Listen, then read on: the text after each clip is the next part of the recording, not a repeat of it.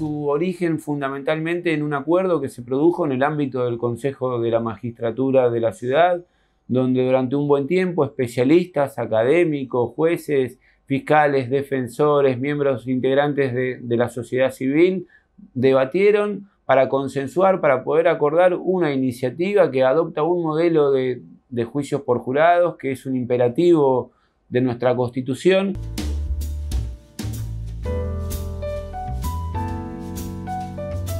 La Constitución ordena, no, es una atribución de la legislatura hacerlo o no, no es una atribución del Ejecutivo proponer que haya juicios por jurados o no, sino que la Constitución, tanto la Constitución de la Nación como la de la ciudad, establece como imperativo el juicio por jurados para resolver conflictos de alta intensidad, esto es decir, conflictos que llamamos delitos, ¿no? Es la manera en la cual tienen que resolverse. Creo que esta iniciativa sin duda avanza en mejorar las instancias de participación ciudadana en la ciudad. En primer lugar, porque es el imputado el que decide si es un tribunal popular o no, el que lo juzga por lo que se lo acusa. En segundo lugar, porque la ciudadanía es la que resuelve si el imputado es responsable o no penalmente de lo que se lo acusa y esta ciudadanía es representada de manera plural, transparenta, porque es de cara a la sociedad y además claramente mejora la confianza que la ciudadanía tiene en el sistema porque al ir participando, al ser parte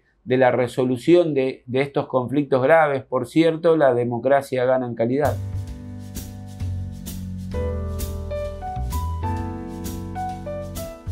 Por ejemplo, en la provincia de Buenos Aires, en los juicios por jurados que se hicieron en Necochea desde la instauración a hoy, ha mejorado la imagen de la justicia en un 30%, ¿no? Y las personas que participan de este sistema de, de juicio por jurados mejoran la imagen de la justicia en un 90%.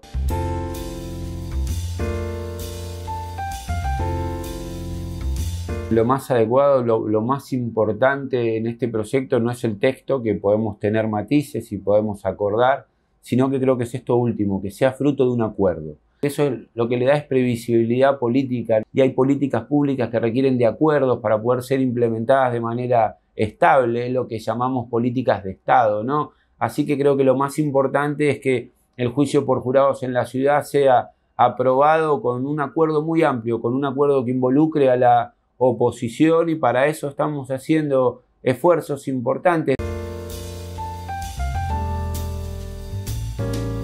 Hay que ser muy responsables con estas cuestiones. En materia de recursos financieros tenemos poca plata para lo que precisamos eh, y el juicio por jurados no es excepción. Por eso eh, es que fuimos muy responsables en el debate en comisión y varias de las reuniones que hicimos para legisladores y legisladoras de, de la Comisión de Justicia y quienes estuviesen interesados fueron exclusivamente dedicadas a analizar los cálculos actuariales, o sea, a analizar el impacto presupuestario que el juicio por jurados podía traerle para la ciudad. Hoy la ciudad tiene las dos condiciones esenciales. Tiene a, su personal capacitado y por otra parte tiene la infraestructura necesaria para poder implementar el juicio por jurados de manera inmediata sin erogar fondos nuevos. Y por otra parte creo que eh, al no haber sido transferidas todas las competencias penales a la ciudad, nos permite, nos da la oportunidad de, ir avanzando de manera progresiva. Hemos sido muy serios en el trabajo en la legislatura, invitamos especialistas tanto de la provincia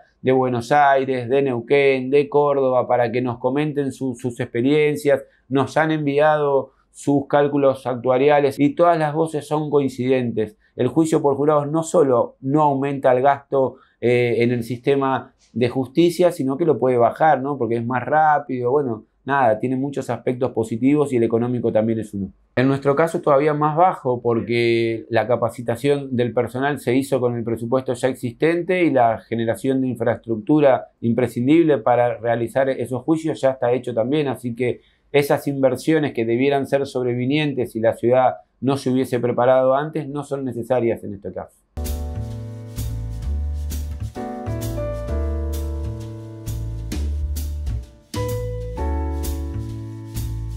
Me parece que fundamentalmente la representatividad, ¿no? Nosotros le, agregamos a eso la necesaria paridad. En estos tiempos yo soy autor en la ciudad también de la adhesión a la ley Micaela, nuestro bloque, el de la Unión Cívica Radical, Evolución, ha generado muchas iniciativas vinculadas a la paridad, a, la igualdad de géneros. Hay un análisis de otras experiencias que, locales e internacionales donde el modelo de 12 jurados funciona bien.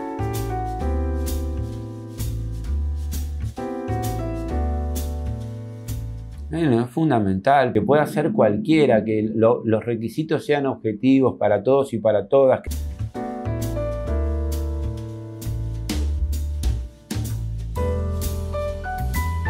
Bueno, creo que es uno de, los puntos claves en, este caso, ¿no?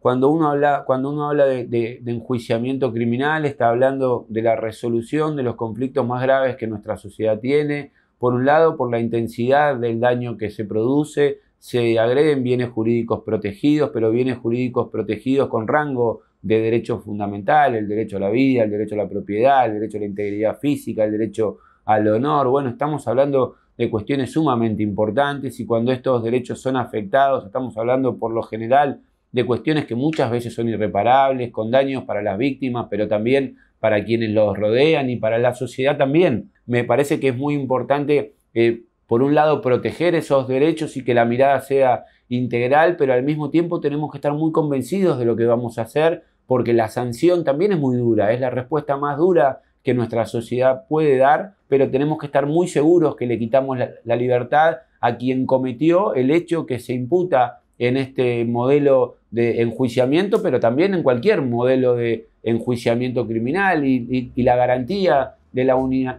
unanimidad es un reaseguro de un debate profundo, de un debate hasta el final. Cuando hay una mayoría que se impone sobre una minoría, la duda nos se salda y, por eso reitero que estamos hablando de conflictos muy graves eh, y que la sanción también es muy grave y por eso considero que la unanimidad es un dato importante, no me parece un dato menor.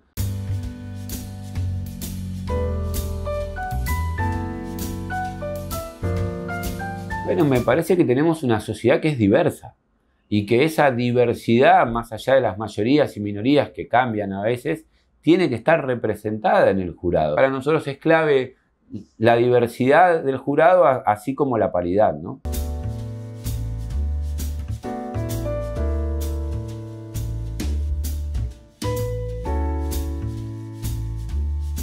Sí, claro, que la Constitución indica que debe ser tomada por un jurado popular.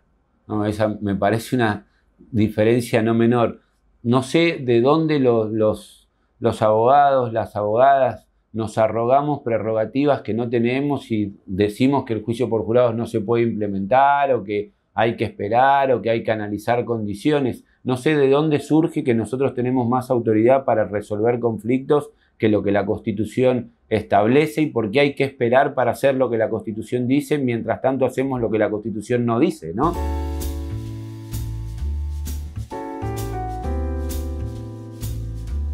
¿No? No hay ningún obstáculo que pueda demorar la implementación del juicio por jurados desde que lo sancionemos en esta legislatura y lo promulgue el Ejecutivo. El, único obstáculo que existe hoy en la ciudad es político.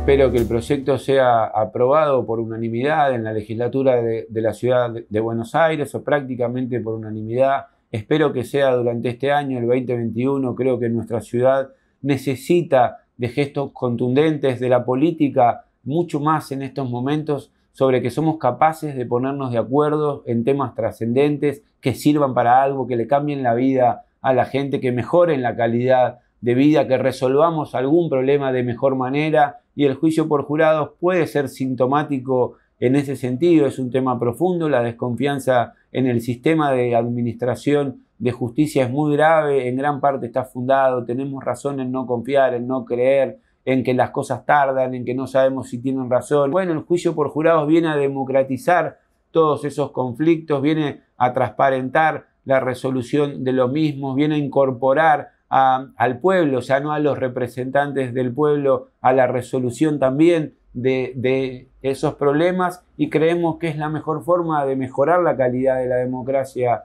en nuestra ciudad.